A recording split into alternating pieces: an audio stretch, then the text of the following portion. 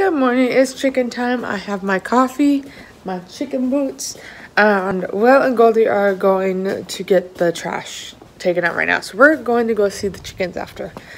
I think he doesn't know I came out the back door, so I have to go get him. Hello, girls. And boy, sorry. Tonight for dinner, we are making this shrimp fettuccine. So, He's putting on some water to get it started. And do you think it's gonna be yummy? He doesn't know.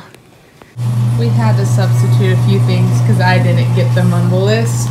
So Will came up with what to substitute and it smells really good. So he's doing a good job. I love you. And then our fettuccine pasta is cooking.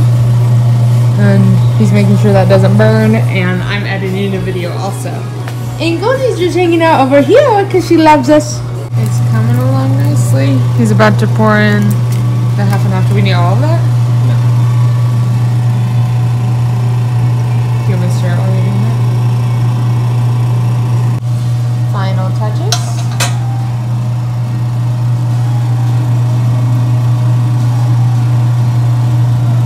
Final stirs. It looks really good. Thank you, babe. Looks yummy. Mr. Chef over here. now you can't repeat this. It looks very yummy. Why can't we repeat it? You can't. Why can't I? You know what I did? You put green chili in it. You put a little bit of Parmesan. And uh, you made it yummy. How does it taste, babe? Good. Good? Mm -hmm. Make it again? Yummy. Just finished the bee boxes. Well, the big ones of them. We still need to finish these guys. I'm going to paint these next week. And then hopefully one day we'll get the small ones coming in. When do you think we'll get the small ones, babe? I don't know. He said he doesn't know. But we're painting those blue. And then once we get the small ones, we'll paint those red. Because that's the paint we have left from the barn. Or from the chicken coop. And then maybe we'll get more little ones. A friend came to play. Oh, and you want to go play with your friend?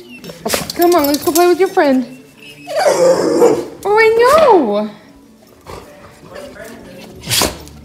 Oh, they flew away. There's like birds lining this. Power's gonna come with us.